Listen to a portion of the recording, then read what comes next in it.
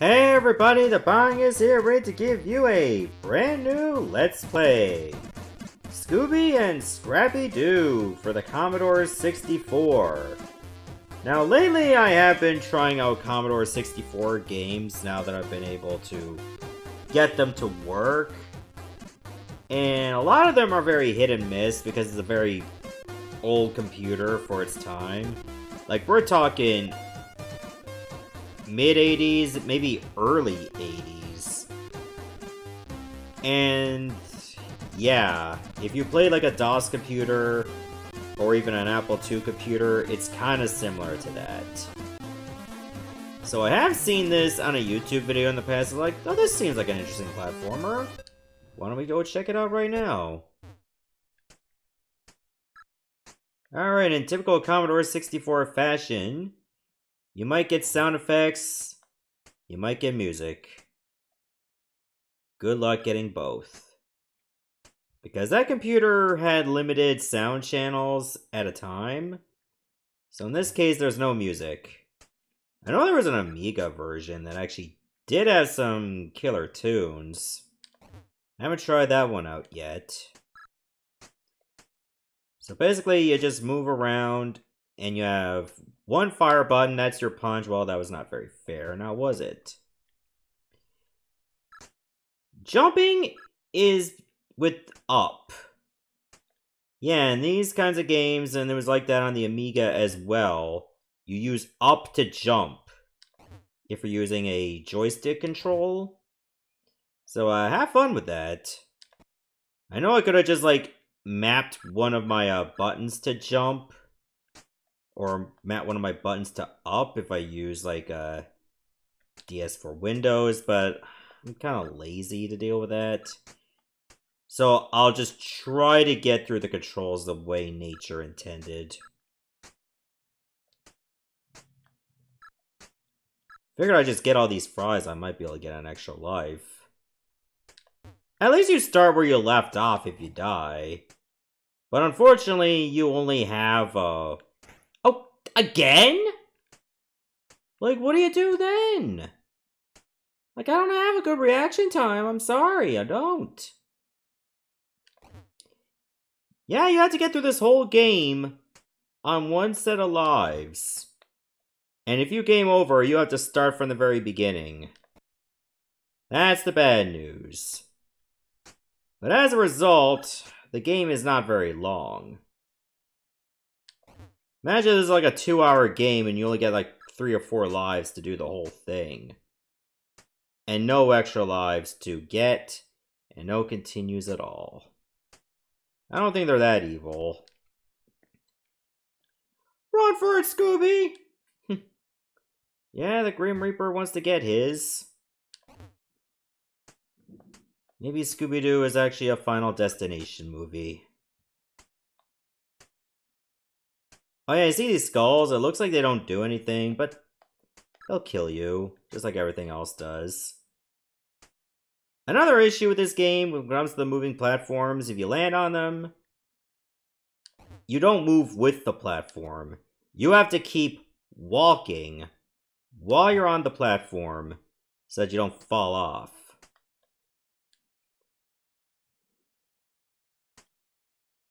See? It's a little weird. Oh, not falling for that again. Fool me twice. Shame on me. Fool me thrice! Then I should probably turn the game off. We're not gonna get to that level, I promise. Oh, a springboard.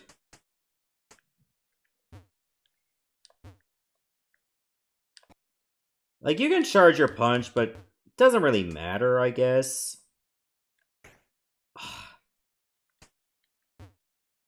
Man, that, that jump got me to game over when I practiced this game, too. Because the ceiling is so short.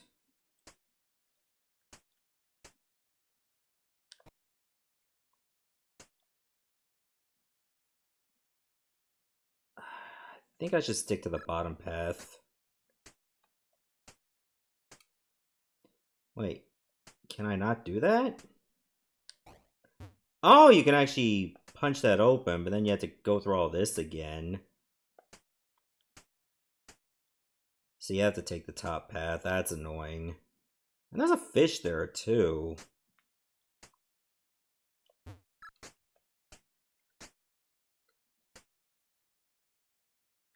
Too bad there wasn't any, like, uh, killer jams on this. We had to, like, suffer in silence. It's a good thing the enemies have the same pattern, almost. Just run back and forth like they're red Koopa Troopas. That's all they can really do.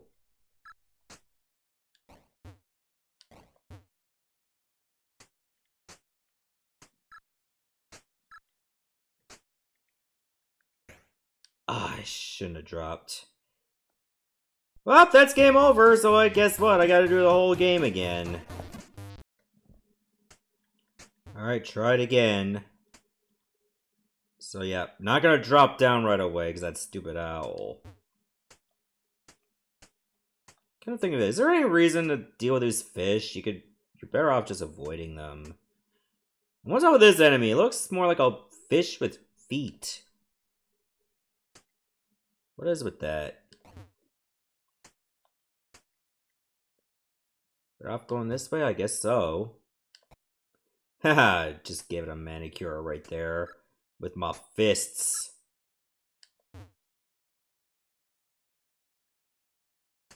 I don't know how many levels there are. Well, this is the second stage. So, that's pretty much what I gotta deal with. Oh, God. Okay, so I had a bit of a graphical glitch, but that's all sorted now. I just had to set it on warp speed so I can process faster.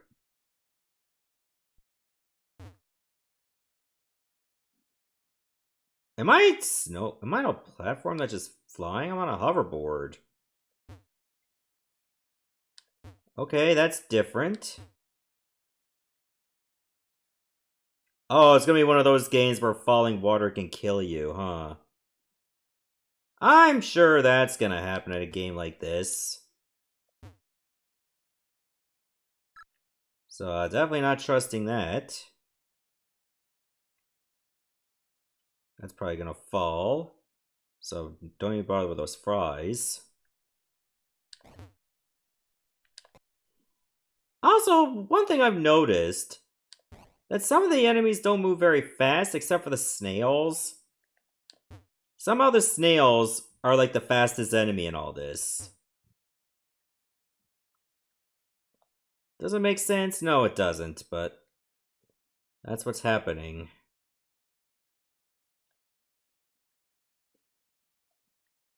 Uh, I guess we can live with that.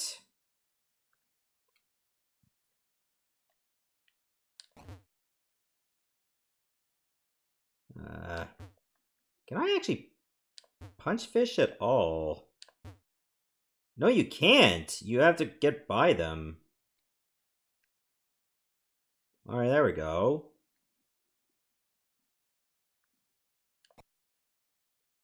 I'm guessing spiders cannot be punched either.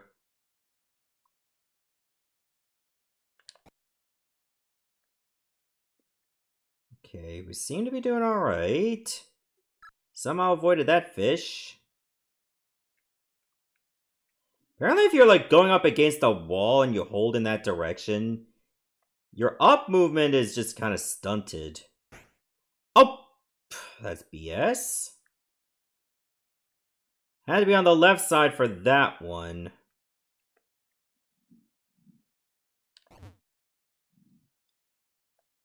How much bigger is this level anyway? Especially some... Oh, Freaking owls! I hate them! I can't react fast enough! How many times have I had to tell you this?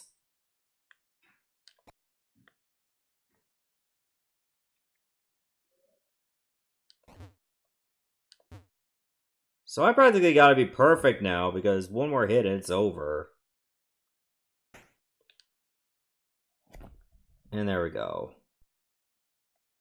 Alright. I kept falling for the owl again. That's the second time that owl got me. I have learned nothing in this playthrough.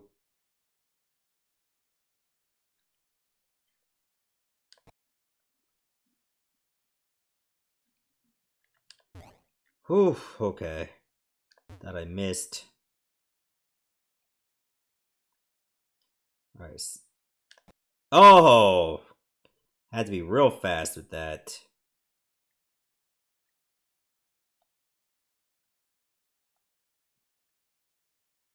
Maybe this is the last level. I don't know. It better be. I mean, it would make it a very, very short game. But it's certainly a lot better than just, you know, having to do all this again every time.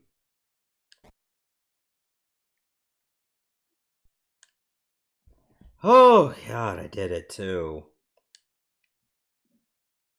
Yep, there's more. Oh, I feel bad for was chained here. And suddenly I no longer have my hoverboard. Back to being on foot for me now. But now we got guillotines.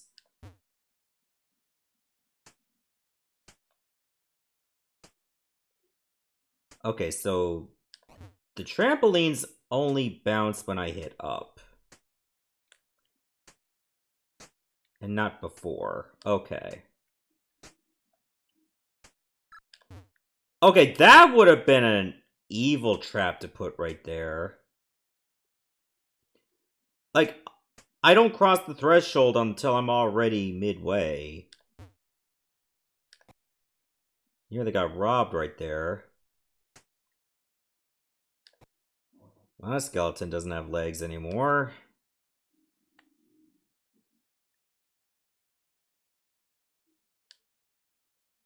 Oh god, what is this? Stuff of true terrors, that's what.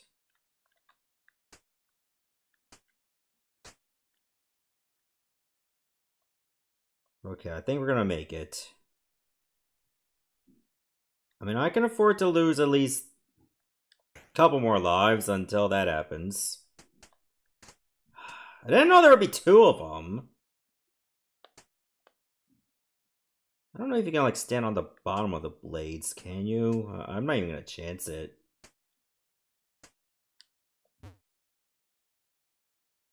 I mean, if static skulls can kill you, I'm sure that could too.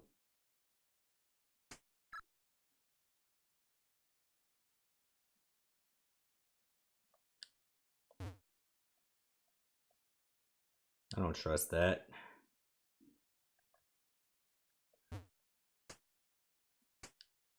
Okay, where does it start? Come on, game! That is the most dickish enemy placement you can just have. You're approaching I want to be the guy level before it even existed.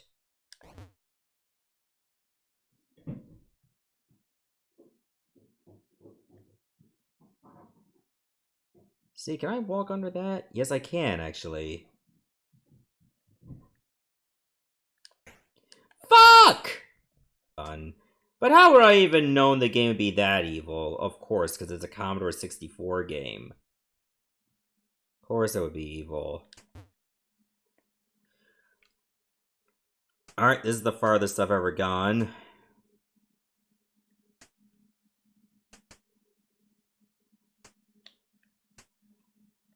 Oof, thought that was going to be tangly. Oh, this could still be tangly.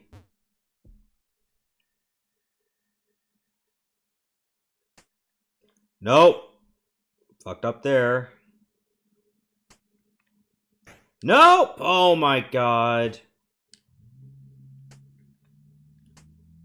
Just go. We made it. We're not out of the woods yet, though.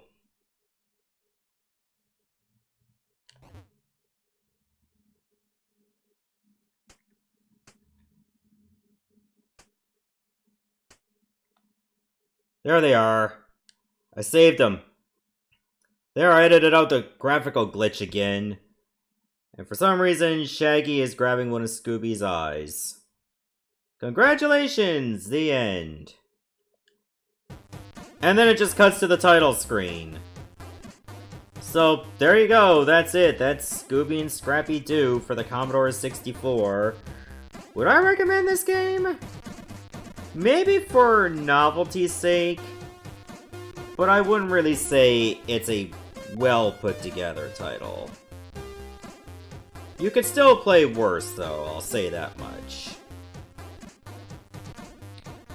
But, uh, at least the, uh, at least this music's kind of bopping. Too bad it's the only song you hear. But in any case, this is the Bongus signing off, saying goodbye, Godspeed, and stay tuned for my next Let's Play. Thanks for watching, everybody, and I shall see you next time.